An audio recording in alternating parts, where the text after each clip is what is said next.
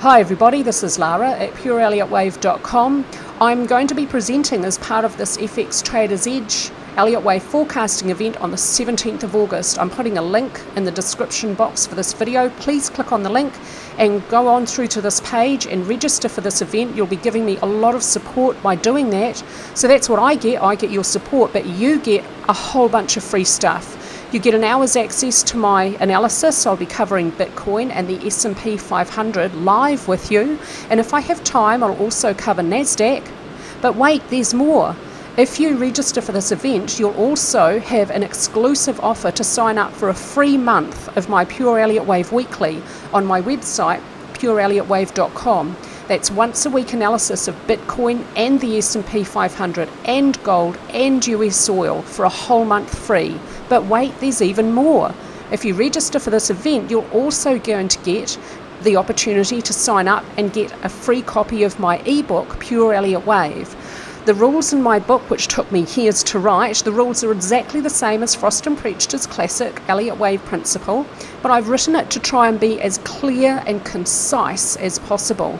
But wait, there's more. You'll also go in a draw to win one free lifetime access to my online course, Learn Pure Elliott Wave, which is normally priced at $395. Not only am I a CMT, Chartered Market Technician, and not only do I have over a decade of experience, I've been analysing markets since 2008, I'm also a trained professionally qualified New Zealand secondary school teacher. I used to teach high school science biology and geography. So, coming from that angle, I've created some totally unique learning exercises as part of this course. If you're a kinesthetic learner, you'll learn by doing, and I find those learners the hardest to reach. So, I've got some truly unique learning exercises to teach you Elliott wave structures. There's 20 lessons most of them have quizzes or further reading, and as part of your access to the course, you'll have me supporting you via email to help you with your learning Elliott Wave. So there's a whole bunch of really good reasons for you to click on this link and register with FX Traders Edge. And if you do so, you'll be giving me a lot of support, and I really appreciate your support. Thank you. I'm going to look at Decred with you today. Um, I've had a couple of comments about the sound quality honestly, it's not my microphone. I have a really good quality Marantz microphone, and it costs like over $200. Um, the problem is, I'm in Mexico in an apartment right by the ocean because I surf, and the waves are, well, it's not too big, but it's not small today. You can hear the ocean, and it's really hot. I've got no air conditioning, so I have to have a fan on me most of the time. Otherwise, I just can't function. So, yeah, it's the sound of the surf and the fan, it's not the microphone. Just so you know. Let's have a look at Decred. Um, well, the first thing I notice is on the monthly chart, here's the start, the first big high, and this low made new lows below the start. And then we've got what looks like probably an impulse up higher. I know it looks like a one, two, three wave structure, but there'll be a third and fourth wave in here. I'm looking at this upper wick the fourth waves of these cryptocurrencies are really commonly more brief and shallow than their counterparts' second waves, and that's especially prevalent when they have these really strong impulses. It's something I'm used to with commodities, and it happens when they have extended fifth waves. There'll be an extended fifth wave in here, and that's what I'm going to have a look at on the 17th of August. Extended fifth waves in commodities and cryptocurrencies, particularly Bitcoin. I'm going to give you some examples, and we're going to have a look at what that means for your profits, because I think that's one of the most exciting aspects of these charts okay, I'm so sorry. I'm going to stop rabbiting on. I'm going to try and see could this have been a leading diagonal? I want to have a look. Mm, an ending diagonal? I don't know, some kind of diagonal. I just want to see if that will fit wavelengths. Because you want to see this as a five wave structure, yeah?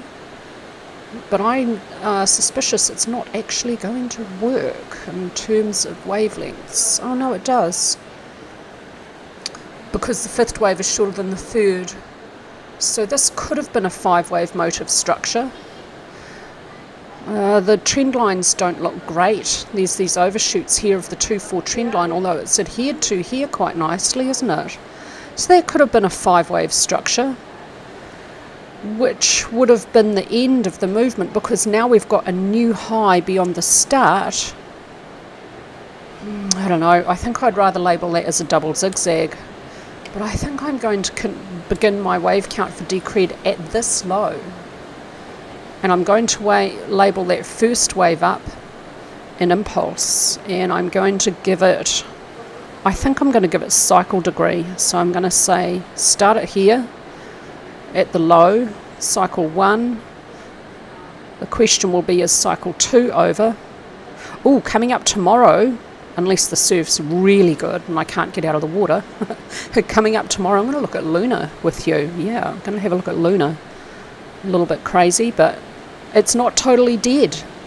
Who, who knows what it's going to do next? We'll try and figure that out tomorrow. I think this is probably going to be the right wave count. I think. I don't know what structure we're going to have for cycle two. Let's go from here and do a weekly chart.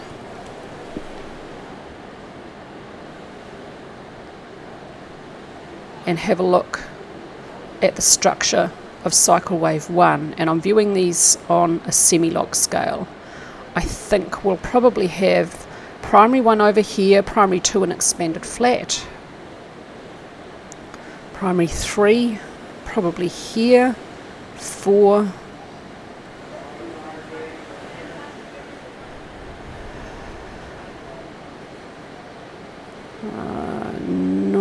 I think I want to see. Oh no, I think. Mm, yeah. Oh, possibly. What are these wavelengths? 30, 46, and 136. Yeah. This is what I mean by an extended third wave. Beautiful example in here.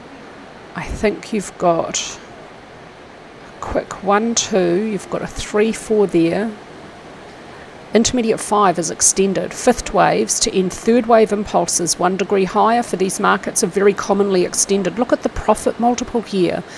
Intermediate 1, $30. Intermediate 3, just over 46. Intermediate 5, 100 just under 137. Intermediate 5 is just under three times the length of intermediate 3. That's where most of the profit's going to be in this extended fifth wave. Let's get some labels in for intermediate 1. That's why that concept of extended fifth waves is so important. It makes a difference to your profits. And that's what we're here for, isn't it? Um, I think this is probably going to be a double zigzag. Nope, I can see... Uh, yeah, yeah, okay, I can see a 5 down here, so I want to see this oh no, there's going to be an overlap. Is this going to lead, be a leading diagonal?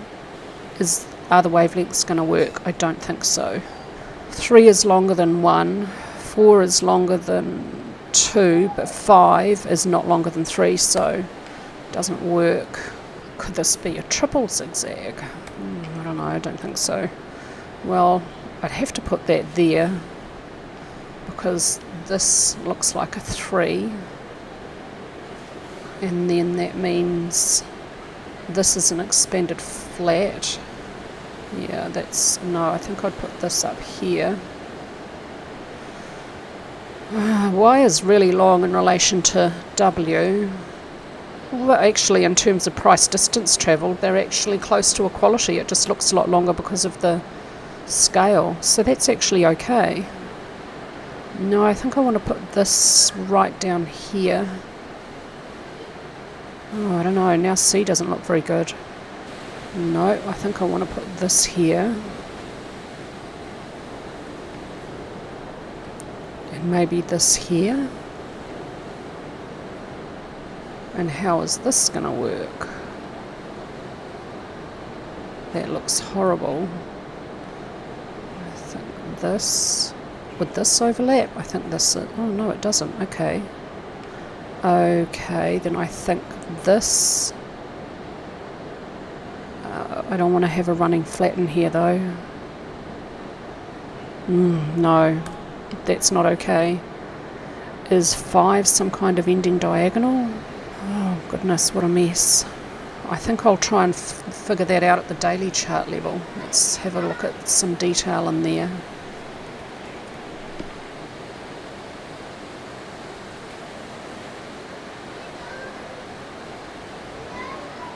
Okay, I'm happy with W.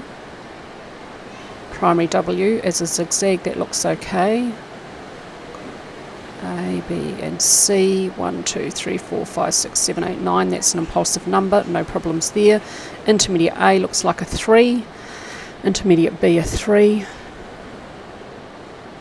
Intermediate C, could this actually be an ending diagonal? Doesn't matter too much? No, not really, but let's have a go. Uh, yeah. No, I don't think so. I still want to see this as an impulse. And I think I want to see the fourth wave over there. Oh yeah, this is going to be okay. And nope, I want to see this up here. Like that. And then this, oh, excuse me, this here. That's good.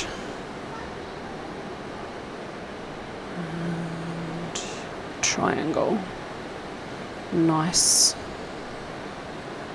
Yeah, that looks good. A nice looking barrier triangle. Intermediate A here looks like a five wave structure. Minor 1 was extended. Intermediate B looks like a 3. Okay, now the question is what is happening here with minute 5? Or could minor 2 be a combination? Or could minute 4 have continued further? Oh, okay, so technically I could try and label 4 as a triangle, but this is what it would look like, and it would... No, so you can't do that because D moves beyond the end of B, violating the rule for both a contracting and a barrier triangle. You could do this, and it's going to meet Elliott wave rules, but it's going to look stupid. I mean, technically, that's possible, but that looks stupid. No, I couldn't publish that.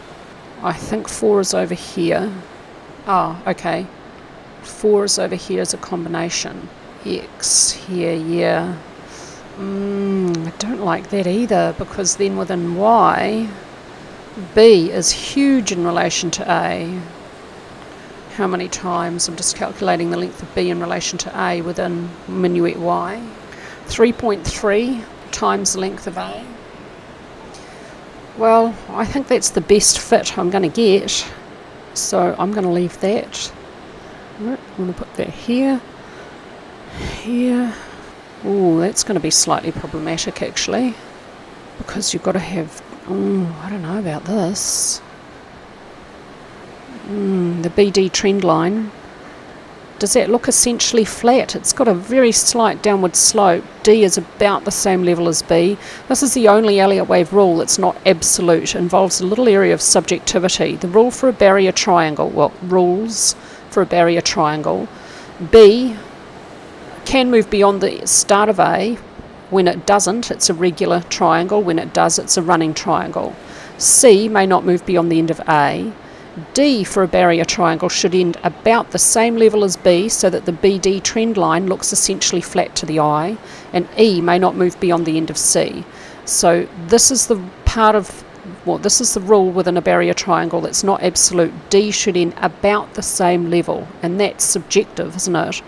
So it's slightly below, less than a dollar, not too much, a few cents, uh, it looks not too bad. Okay, so I think that's going to be my wave count for Decred. Starting it here. Knowing that this fits as a five wave structure, I think it would also fit as a double zigzag, WXY. It could be seen as either. Because there's a new high beyond the start of this, it doesn't matter now, and I think the wave count should start from here. And I think there's a corrective structure that could be complete. Let's put a channel around that actually let's mm, that might be too conservative let's try a best fit channel. Maybe bring this up here. Oh nice. Okay so there's strong resistance there. I'm going to leave that channel alone. That looks pretty good. It's showing where price found resistance here the last completed week. This week beginning 7th of August is incomplete so we can't draw a conclusion from that candlestick. But this has got a huge bearish upper wick bouncing, coming down off resistance there, that's pretty bearish. Um, if this trend line is breached to the upside, I would have some confidence in this wave count. So I think that would be my bottom line for confidence. I mean, a confidence that this, some confidence that this low is sustainable. If we see new highs above this trend line, then I would have confidence that these lows are sustainable. It's unsurprising though that there's resistance here, a pullback, and then we could see a closed above or a breakout above the trend line, a pullback to find support, and then moving up and away. That would be very normal behaviour for price. Let's have a look at some technicals. I'm going to have a look at this low back here. This is the low in March 2020. What does that look like? At the weekly chart level, this is the low for the week beginning 8th of March 2020. At the weekly chart level, there's a couple of bullish long lower wicks at this low, but there is not a candlestick reversal pattern. We have a bullish long lower wick here, we have a doji following it, another doji the week after that, these upward weeks coming with lighter and declining volume. It's not until it moves into these weeks that volume starts to actively push price higher. Now remember this low has been sustained. We haven't seen lows down to this point following March 2020. So this is a sustainable low. That's why I'm looking at it. I want to see what do the technicals look like at a previously identified sustainable low and then compare and contrast it to the last low. So no candlestick reversal pattern, volume not immediately bullish, only a few weeks later do we start to see obviously bullish volume. And then volume drops off substantially, but we again start to see volume pushing price higher. Not every week though, it's not a very obviously bullish volume profile. Once we get into this week, it starts to be bearish. I suspect this is probably close to the high, yeah, it is. And now we're seeing downward movement. At the low on balance volume, let's check did it exhibit bullish divergence. This close of this week 10.7086 versus the close of this week 16.7874. Yes, there's some bullish divergence here. On balance volume is higher, price is closing lower. At the low, ADX indicated a downward trend which had a long way to go before it reached extreme. It had only really just caught up back here at the high uh, an upward trend reached extreme, ADX declines, the DX lines whipsaw, ADX finally catches up just a very few short weeks before that low. RSI exhibited bullish divergence. The close of this week 10.7086 versus the close of this week 14.2587. RSI is moving higher, price is closing lower, there's some bullish divergence telling us that there is weakness within this downward movement. At the weekly chart level, money flow index also exhibited some strong bullish divergence and it had not reached oversold. At the low, stochastics also exhibited bullish divergence and it had previously reached oversold. At the low, ATR was flat for the last part of that downward movement it's within this piece of movement here, that's upward movement, ATR increases. From this high moving on downward, ATR declines and then flattens off. So there's weakness in that bear market. So that's the weekly chart level. What about the daily? At the daily chart level, there was no bullish candlestick reversal pattern. The wick of this candlestick is less than twice the length of the real body. That's a requirement for a hammer candlestick pattern, so it's not a hammer, but it is a bullish long lower wick. This session has a lower high and a lower low. It comes with an increase in volume. The candlestick has closed green fairly strongly and the lower wick is very long, so I would expect, or I'm going to make an acknowledged assumption that within this session most of the volume is upward and there is some push from volume pushing price higher in this green session. And so I would read that as bullish off that low. The volume profile immediately off the low, some decline in volume, and then we see upward sessions with an increase in volume downward sessions, overall declining volume. A little bit confusing here, downward sessions stronger. It's not until we get quite a few days off the low that we start to see volume really strongly pushing price higher. Remember, this low, dated 13th of March 2020, $7.65 and a bit, has been sustained. That's why I'm looking at it. The volume profile, a little bit difficult to interpret off that low. Would have been very, this would have been a hard one to identify. On balance volume exhibited some quite strong bullish divergence. The close of this session 10.5587 versus the close of this session back here, 16.4720. On balance volume is a lot higher, price is substantially lower. So there's some good bullish divergence there. ADX at the low finally caught up with the with the downward trend, indicated a downward trend, but it wasn't extreme. At the daily chart level, RSI reached oversold, does not exhibit bullish divergence with price. Money flow index also reaches oversold, does not exhibit bullish divergence with price. RSI reaches oversold, does not exhibit bullish divergence with price. Money flow index also reaches oversold. Let's have a look at this point and compare to this point. Let's see if there's bullish divergence. The close of this session, 10.7086. The close of this session, 16.5312. Price is closing lower.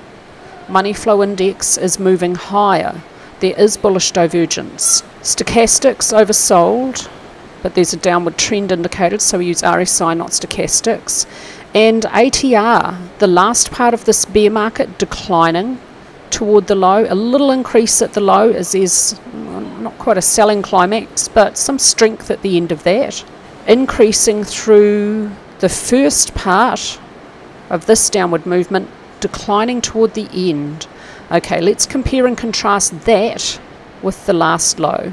Okay, the last low, 19.9775, week beginning 12th of June. We'll look at weekly and then the daily chart level.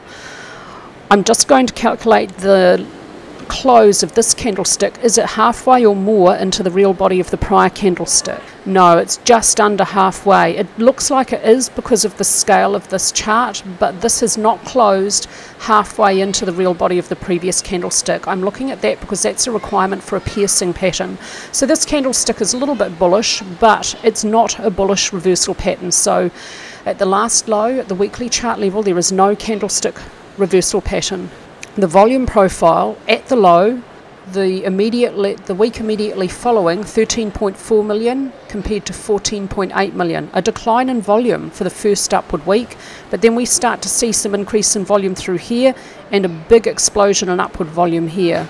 I would read this volume volume profile off this low as bullish. Between price and on balance volume the close of this week 21.3465 the close of this week 66.8450. On balance volume is moving higher, price is closing lower. This indicates weakness in terms of volume in that last piece of downward movement. This divergence is bullish. At this low, there was no downward trend indicated. ADX reached very extreme for the previous upward trend, and during this bear market spends its time declining with the DX lines whipsawing it's finally caught up and told us there's actually a new upward trend coming up off that low. So ADX is now bullish. At this low, RSI just reaches oversold. I would read that as quite bullish. That's an indication that that low could be sustained. At this last low, there is strong bullish divergence between price closing lower and money flow index moving higher. And stochastics reached deeply oversold, is now returning to neutral territory. Let's have a look at the daily chart level finally. Here is the low, the 18th of June 2022. The candlestick immediately following it is a good strong bullish engulfing candlestick pattern. So at the daily chart level there is a bullish candlestick pattern off the low. It also has support from volume, that's very bullish. We get into this candlestick here, strong push from volume pushing price higher. And again here, really strong volume for upward sessions. I would read this candle, this volume profile as very bullish. At the low, the close of this session between price and on balance volume, the close 25.0888. The close of this session 21.3465. On balance volume has moved higher, price has closed lower. There was bullish divergence between price and on balance volume. ADX at the low reaches uh, tells us there was a downward trend. It's a lagging indicator here, it's based on a 14 day average, so it's going to take a couple of weeks to catch up. And here it indicates the downward trend was extreme and now it declines. What's it telling us now? It's telling us there's an upward trend which is very extreme. I don't think as extreme as this one can get though. We'll have a look back real quick. How extreme can ADX get? at the daily chart level. Where's the most extreme reading? Back here, April 2019, and here, May 2018. ADX can get very extreme for an upward trend. Um, but I would expect after it reaching this extreme here, above 45, we may see some pullback. This may have been enough to resolve that. At the low, it didn't indicate an extreme trend. Between price and RSI, it looks like there's some bullish divergence after RSI reaches deeply oversold. The close of this session, 31.6193 versus the close of this session, 21.3465. RSI has moved higher, price is closing lower, bullish divergence. When In the context of deeply oversold RSI, that's very bullish. Likewise, money flow index at this low would have been indicating bullish divergence after it's reached oversold. Stochastics, a little bit of bullish divergence, oversold at the low. And ATR, overall declining from this point here within this downward movement, overall showing a decline to the low with a little increase at the low. It looks like this low for Decred could be sustained Here's my bottom line though I want to see a new high or a breach of this channel on my weekly chart to have really good confidence that this low is sustained. I have a very strong suspicion it will be, but that would be the confidence required for this Elliott wave analysis. That's all from me for Decred. Luna tomorrow if, uh, well, if the surf isn't too good. Okay, thank you all so much for your support, and I'm really looking forward to this upcoming presentation on next week on Wednesday, the 17th. If you haven't already registered for that, please do so. As I understand, spots are limited. You're not only getting access to my live analysis, you can also see it afterwards. If the time isn't suitable for you, you'll get an email with a link. You can click on the link to see my um, presentation. You'll get freebies from me. You'll also get freebies from the other six presenters in this uh, presentation. So it really is in your best interest to register for that. Thank you so much for your support.